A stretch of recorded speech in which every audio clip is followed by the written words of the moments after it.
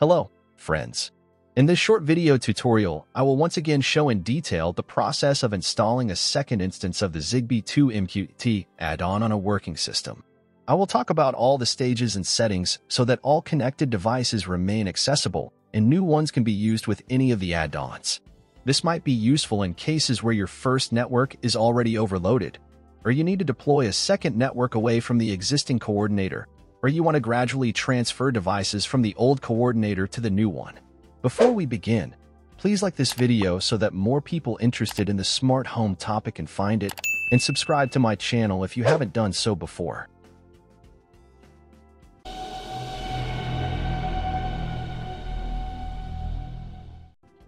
As a testbed, I am using a server based on Raspberry Pi 4B with supervised Home Assistant installed. I'll clarify that everything shown will be relevant for other single-board computers and mini PCs with supervised and Home Assistant OS installations. Here, add-ons like File Editor, Mosquitto Broker, and Zigbee 2 MQTT are installed. If you're installing them from scratch on a new system, watch my lesson in the link in the description. This video is intended for those who have already installed the first instance. I understand that not everyone has installed it following my tutorial, so I simulated a default installation situation. The installed add-in works with a USB Zigbee stick Sonoff P. The only setting I made was specifying its port. Everything else, I specifically did not touch. To this network, I connected several devices to test their availability after installing the second add-in. The number here does not matter. They will either all be available or all be unavailable. In Home Assistant, they are accessed through the MQTT integration, which connects to the Mosquitto Broker add-in. In turn, Zigbee 2 MQTT also connects to it, transmitting device data. Here are these five devices in the integration list. In addition to them, there is also a Zigbee 2 MQTT bridge. This virtual device is designed for managing and monitoring the add-in itself. Here is a pairing mode switch, a reboot button, and a logging level setting. In the diagnostics section, there is a status sensor, a pairing mode countdown, and the number of the current system version. Further down is a list of devices connected to the coordinator managed by the add-in. By default, the add-in is installed in a folder of the same name. Its settings are located in the configuration.yaml file. This is what it looks like with default settings. In the version that I showed in the Zigbee 2 MQTT installation tutorial, a different layout is applied and a number of useful options are enabled, such as the last response time from the device. For this video, I also use settings from my own tutorial, the link to it, and the text instructions I've left in the description. As we remember, Zigbee 2 MQTT is not included in the standard add-in store and needs to be added manually. For this, you need to copy the path to its repository. Next, press the button that looks like three dots at the top right and select the Repositories option. Insert it into the Addition line. However, with the second instance and each subsequent one, if you try to add it as is, you will get an error message because such a repository already exists in the store. The path needs to be changed so that it differs from the previous one but leads to the same place. For example, remove the letter S from HTTPS, leaving it as HTTP. In such a case, the repository will be added, and its address will be displayed normally in the list. Looking ahead, I'll say that if you need to add a third instance, you will have to think of something else, as simply removing S will not work. For example, you can add a slash at the end.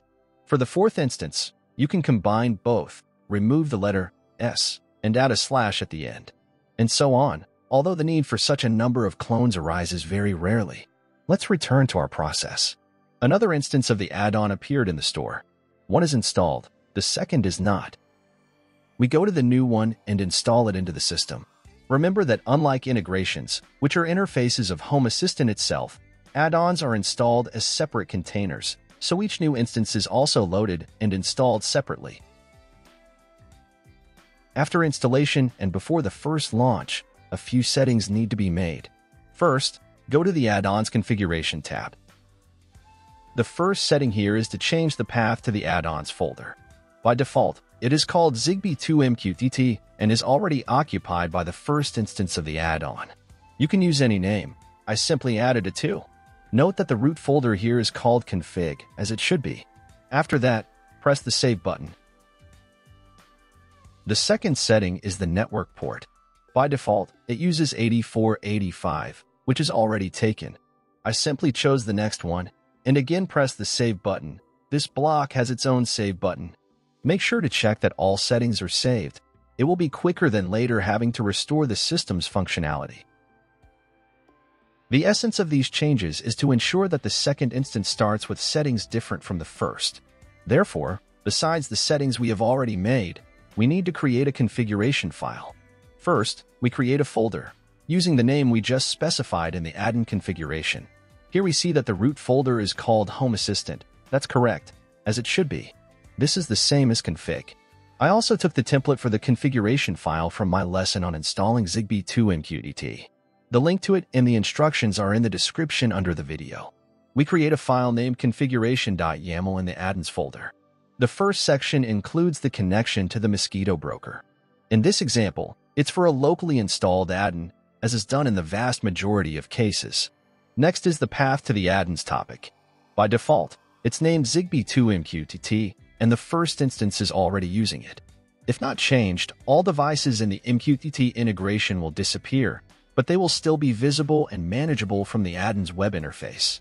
Therefore, it's crucial to change it, and like for the folder, I added the number 2. Next is the specification of the version, which helps avoid some errors in further use. I don't specify login and password. For a local add-in, they will be generated automatically. Next, I specify the path to the coordinator. In my case, I'm using ZigStar UZG-01 with a local network connection. In the following section, the channel number is specified, by default, 11. You can leave it as it is or set another standard one, such as 15 or 20. PAN ID and network key in such a setup are generated automatically, as they also must differ from the first add-in. Save the file, return to the Add-ons tab, and launch the second instance. Wait and observe the events in the log. If everything is done correctly, it should start within a few minutes.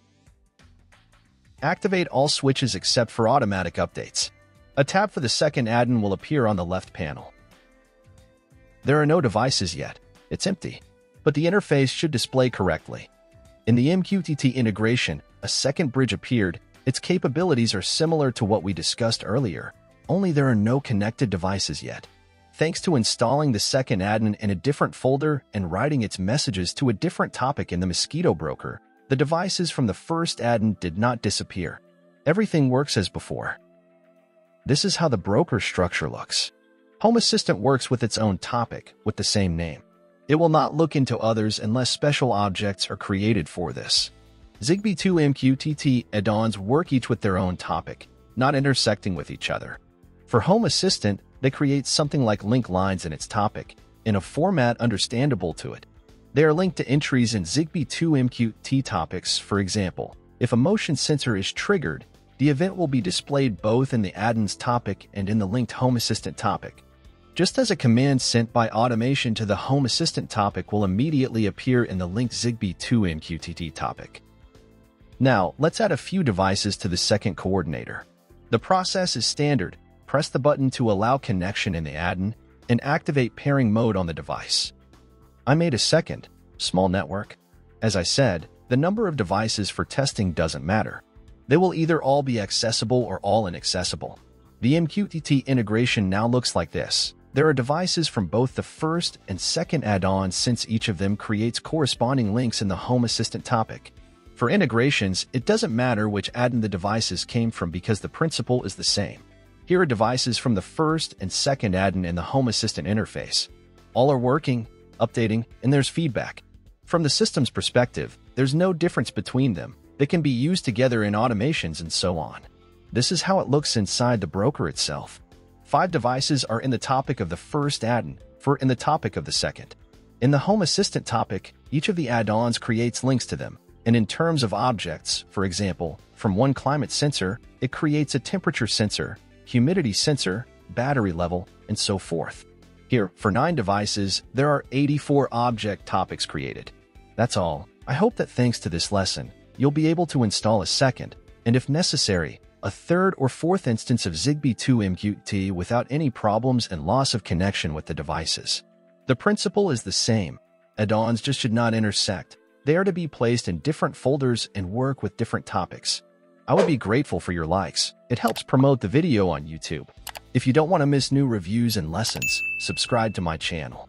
In the video description, you'll find links to the mentioned lessons, a text instruction, as well as my Telegram channel, Facebook page, and a group for discussing smart home questions. Join us. It will be interesting. Thank you for your attention. Until we meet again, peace to everyone.